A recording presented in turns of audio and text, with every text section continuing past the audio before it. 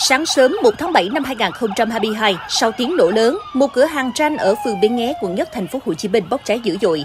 Theo thông tin ban đầu, khoảng 6 giờ cùng ngày, người dân sống trên đường Hai Bà Trưng nghe nhiều tiếng nổ lớn.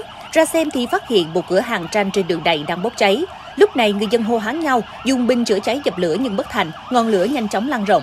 Nhận tin báo, lực lượng cảnh sát phòng cháy, chữa cháy và cứu nạn cứu hộ công an quận Nhất đã điều nhiều xe chữa cháy chuyên dụng cùng hàng chục cán bộ chiến sĩ nhanh chóng phối hợp cùng các đơn vị liên quan có mặt tại hiện trường lên phương án tiếp cận chữa cháy.